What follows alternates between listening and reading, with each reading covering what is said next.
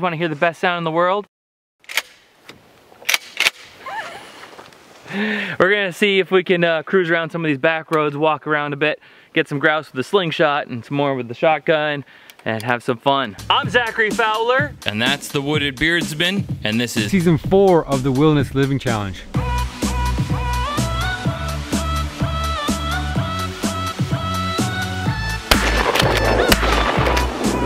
The goal of the challenge is to gain or maintain our body weight while eating nothing but wild foods. So last October, I headed up to the backwoods of Canada to meet up with the Wooded Beardsman and do just that for seven days. Last time on episode two of the Wilderness Living Challenge, season four. 100 pounds of meat? Probably. 100 pounds of meat, two beavers, almost a whole bear. Let's get the canoe on there and get going.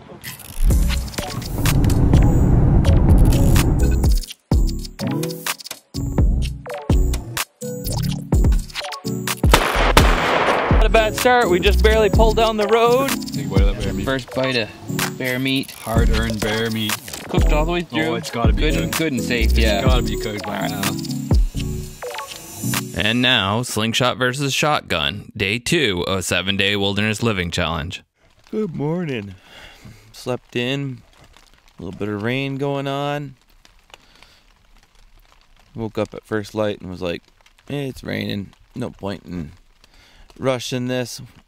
It took us till 11 last night to get everything squared away.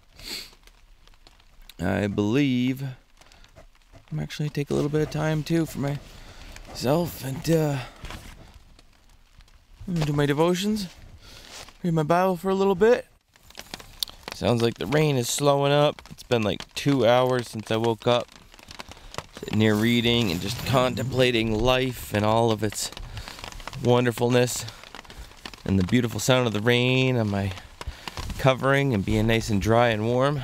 I'm gonna venture out now that it's slowing down. 40% chance for rain. Still a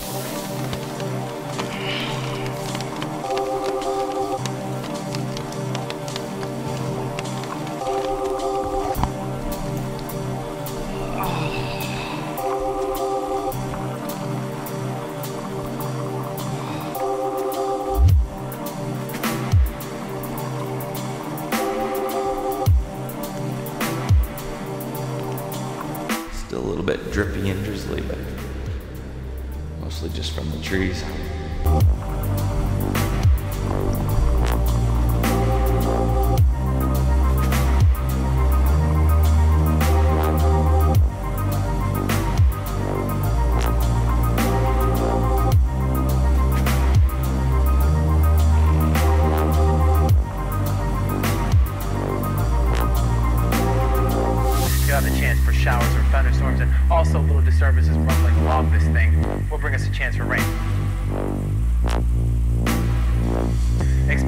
Be heavy at times, especially this evening, and then once again late tonight, so be prepared for that.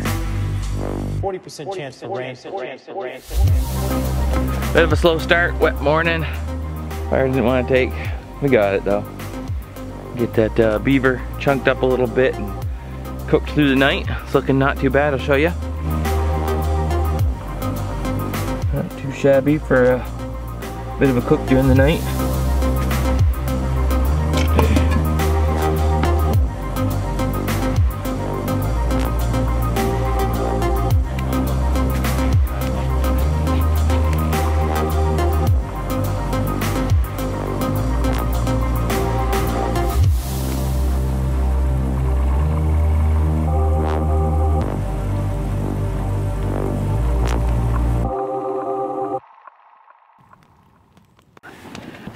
You think?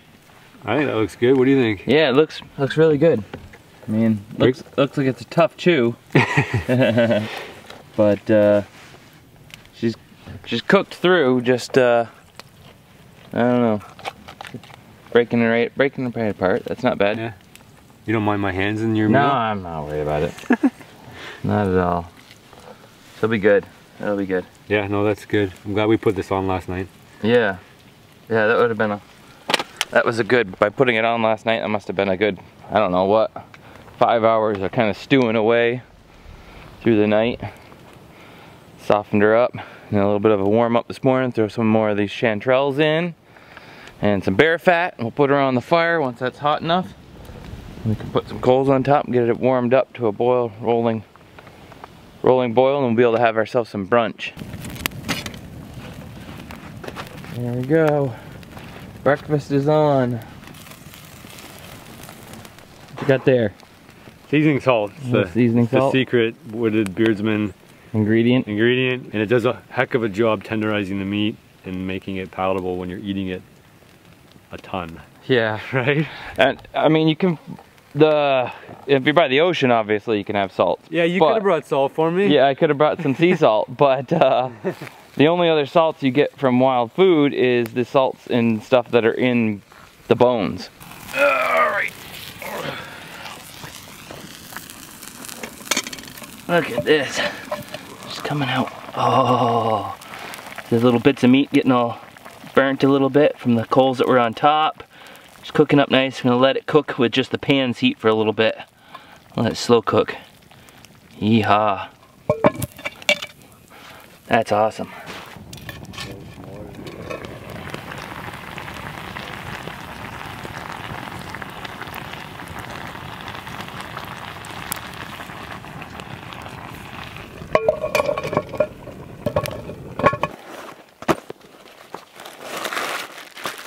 I rigged my slingshot up with some heavier bands.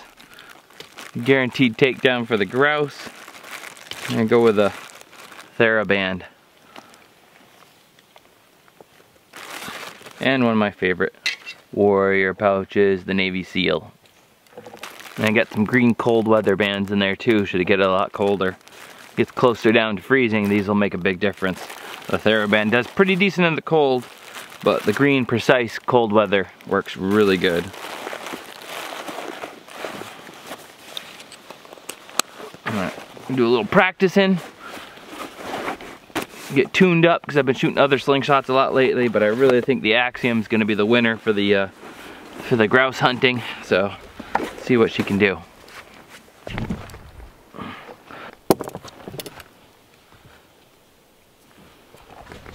I want to make sure my aim is dead on. I don't want to hurt or wound anything.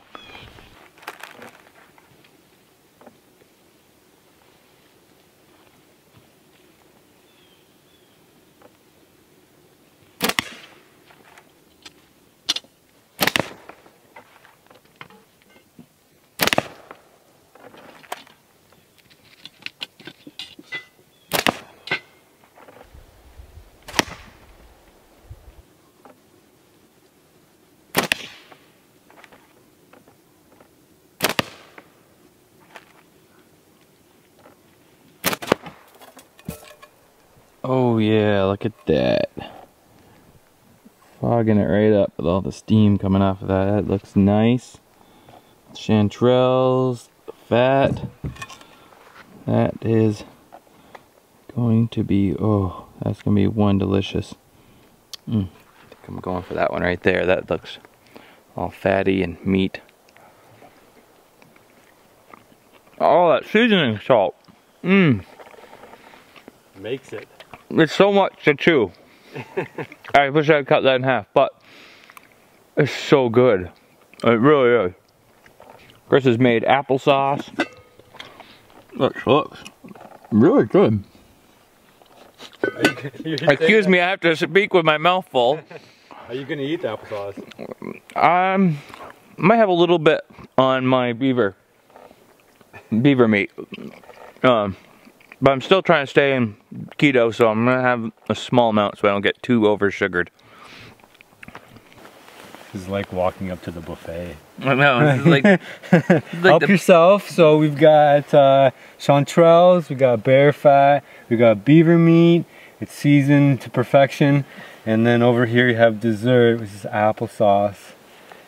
oh, that beaver is just falling right apart now. Even, I mean, you tore it up, but like, it comes right to pieces. That's that's definitely done good. All right.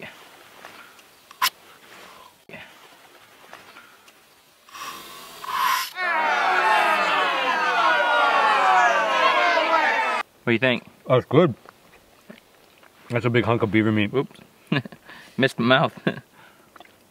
yeah, that beaver is amazing. Glad you like it. I love it. It's so good. I just like, I don't know. It's just just like real food. It is real food, man. It's Trapper's, Trapper Canadian staple Mm-hmm. from back, way back when people were exploring Canada. That's what people ate. Trapped the beaver, you sold the hide, pelts, and uh, you ate the meat. Jive right in there. What a mix. Is it beaver, chanterelle, the big old chunks of fat in here? I mean, look at these sizes. These big old chunks of wiggly fat. So you would recommend people eat beaver? Oh yeah, Yeah. Just Yeah. just eat it. Dive right in there. that's better than rabbit. Um, it's it's as good as goat, which is like my favorite meat. Uh, it reminds me a little bit of goat leg. It's like the stringier part of the leg where it's like kind of, but like cooked really well, stewed down like this, it just melts in your mouth. It tastes pretty sugary. Yeah, oh yeah. It's like real applesauce. Oh yeah. Wild apple applesauce.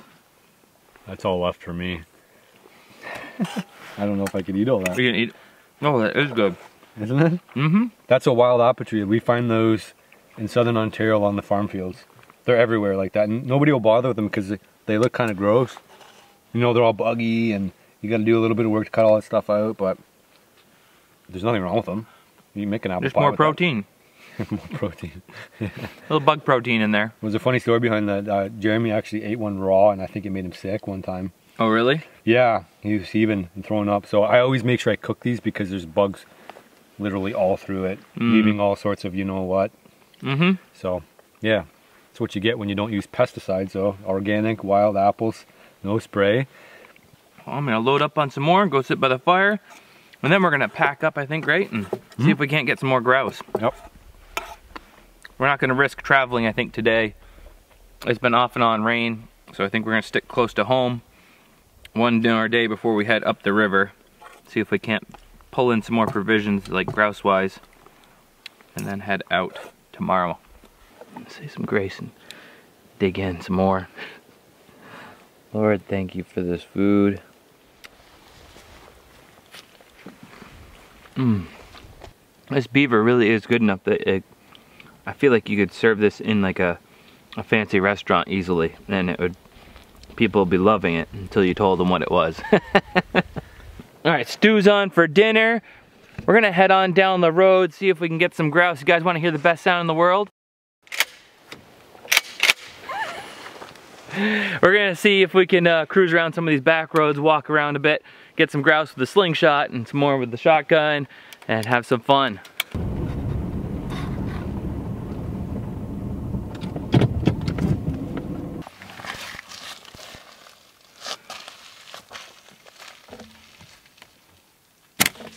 Chase after them, but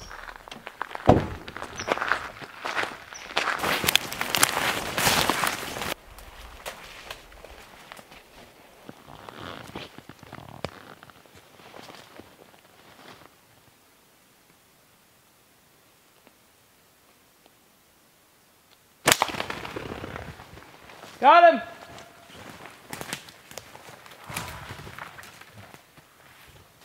where are you at? Right here. You see my camera? I actually do. All right, grab it. Okay. All right. First grouse with the slingshot. We uh I missed him up there on the road. He flew into the bushes. We went up into the woods after him. I found him up in the tree. I shot through uh, a couple pine needles. I think that's why I clipped him along the back of the spine and uh, he was all flopping around. And we jumped him in the bushes here and finished him off. That's why I didn't bring the camera for that part because I wanted to make sure I didn't uh, leave him to suffer. So we got him successfully. Let's see if we get some more. Whoa! Look at the size of that. Wow, that is one big beaver lodge. That thing is 12 feet tall. I don't think I've ever seen one this big. There's not even a pond here. This is amazing. Wow. The beavers that live in this must be like 12 foot across. What a good eating that would be, huh?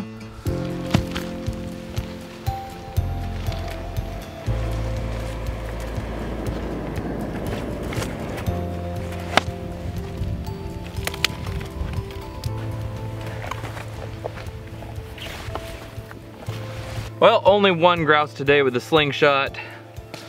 That's all right. We got plenty of bear to eat. This will taste pretty good if we cook her up with the uh, bear fat and uh, I found some lobster mushrooms, which are like this cool mushroom that is not its own mushroom. It basically colonizes other mushrooms. They're really easy to identify. If you look them up, there's like a, you can't miss it when you find them. And they're a good tough like stewing mushroom, so it should be really good. So I took it down to the water, got it, which is just a cut and pull out its insides. I left the heart in there and I took the gizzard and cut that open and clean the rocks out and now I just gotta peel out this tissue here from the gizzard. It's a little tough to eat. And inside here, these two muscles of the gizzard, it would, there's some rocks in there and the bird will grind with the rocks and the food until it's able to work that uh, to its, into its digestive system. The ribs and the front end of the beaver that we haven't finished cooking yet looks pretty, uh, not exactly store-bought meaty, a little more red, but it was very delicious. And we're utilizing everything that we have taken as far as game. You know, the hide is being cleaned by the person who had the license to trap it, and they're gonna take that and sell the hide. And it was a nuisance beaver, it was trapped that way, it is permission-wise.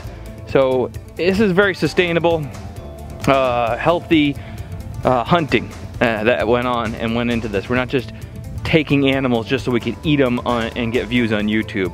You know, we want to enjoy life.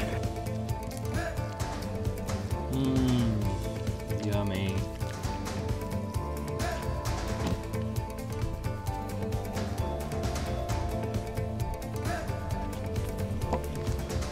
Well, it doesn't look as appealing in the dusky light of uh, dusk. but I'm sure it tastes just as good as before. Everything's broken down so much from, was it like a third cooking now on this beaver? Yeah. Mmm, it tastes just as good. Mmm. Beaver's still hitting the spot. Oh, it is. Yeah.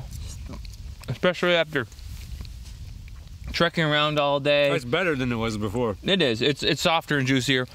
And it tastes wicked good after trekking around all day and, and trying to get it, all those grouse and stuff. So I guess I won that challenge. Just because we didn't see many. But uh, that was a blast. Yeah, that was fun. It was a hard hunt. It was disappointing that we weren't able to find more, but you know. The weather's not helping us out. No, no. It's too rainy and miserable for birds to even want to show themselves. Oh, right, we just deserve a pat on the back for not just sitting around when it was rainy and miserable all day, getting out there and trying stuff, trying stuff, see what we could make work, kind of thing. Keep ahead of our food. Yep. We have so much food. We don't know when we'll run out. Yeah. If we were living out here, we'd have to keep going. oh yeah. You know, yeah, you, you can't, can't. just be like, okay, we're good. All right, just because we have hundred pounds of bear meat and what, what, fifteen pounds of bear fat, maybe twenty. I don't know. Yeah, about that. Yeah, something like that. I mean, if you're not counting the fat that's still in the bear meat, that's, you know, so. Yeah, gotta keep ahead of the food if you want to keep the weight on and keep surviving, and especially being that this is just early fall and Thriving. thriving, thriving, and winter will be coming. And so if we just started saying, "Hey, we've got good enough food for a couple weeks, we'll just eat it Right. and do nothing," next thing you know, winter comes and you're really, really hungry, and the chances of getting stuff is even slimmer. So I'm gonna enjoy my food. Next time on Wilderness Living Challenge Season 4. Join us as we finally push off, heading further into the Canadian outback for the next six days, leaving civilization behind and bringing only the food that we've harvested so far and whatever else we can find along the way. New episodes every Monday, Wednesday, and Friday night at 9 p.m. Eastern Standard Time. Alright, the rest of the beaver is fogging up the lens. She's in there, the rest of the beaver for tomorrow's meals.